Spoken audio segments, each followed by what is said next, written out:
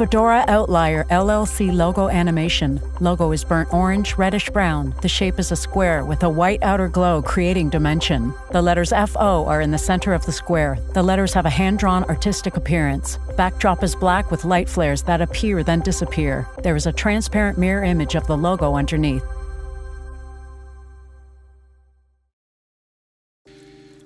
All right, let's go ahead and get started. You guys know what it is. Well, maybe you don't, because guess what? I just made it up on the way upstairs. Lyvette Byrd is on the line, but she doesn't even know what she's in for because I wanted to record one of my videos at the um, preamble of starting the interview with her.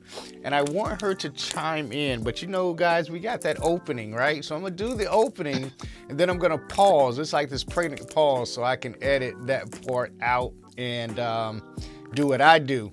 But the topic of the video, Lyvette and World, is business moves at the speed of relationship, right? And what do I mean by that? Lyvette, don't tell them, but do you know what I mean by that? Have you experienced that? In the way that you mentioned and phrased it, I have. Business right. move. Mm-hmm. At the speed of relationship. Yep, I like it. Got you. and since she likes it, hopefully you guys will love it. We'll be right back.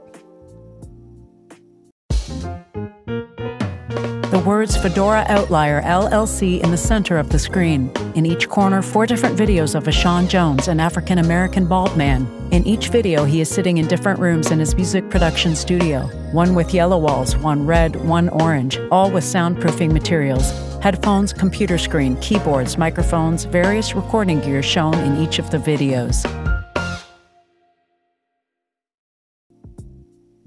All right, and so we are back. Let me break it down for you guys, and we'll get Lyvette to chime in. And you guys know this is only a three minute drive by segment of the concept. So, how I met Lyvette was like the typical elevator speech, literally coming off the elevator. It was like, hey, where you going? What you do? Who are you? Who you know? What to do? Blah, blah, blah right? And so we met, and now we have this relationship, and you have her on the line to get to listen to her interview, which you can click the link right there um, and watch the full interview. And so the thing about it that I've realized is that the more people you meet and the more books you read, the further along in life that you go, right? The more people you meet and the more books you read, the further in life you go. So five years from now, you will be in the same place doing the same thing except for the people that you meet and the books that you read.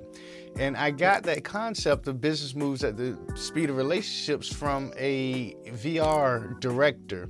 And we was in a meeting together and, you know, he knew what I needed. He knew what I needed to hear. And that really sparked the interest for me into making sure that I built great relationships. So let me ask you this, Lyvette. What are some of the things that you get from new people, building new relationships um, in personal life as well as in business? Well, for me, what I look for is their passion. I try to tap into their passion. Um, I feel that even if they don't know exactly what their passion is, there's something in their conversation that'll shine through to something that they're really interested in. And if you can see that, if you can celebrate that, if you can, you might not even vibe off of it, but if they can respect you and yours and you and theirs, then you can start a good relationship. Got you.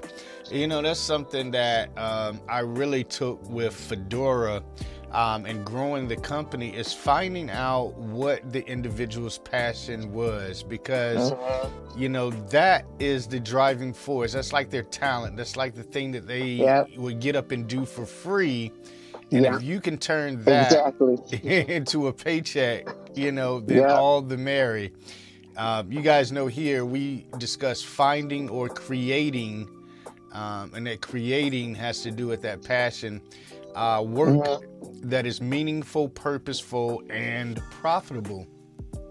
And so, you know, that's the key. And I'm glad she spoke on it. I didn't talk to her about it beforehand, um, obviously, but that is the key finding out your passion, finding mm-hmm. like minded people that can celebrate your passion, even if they're not mm-hmm. doing the mm-hmm. same thing, and exactly. growing from from that.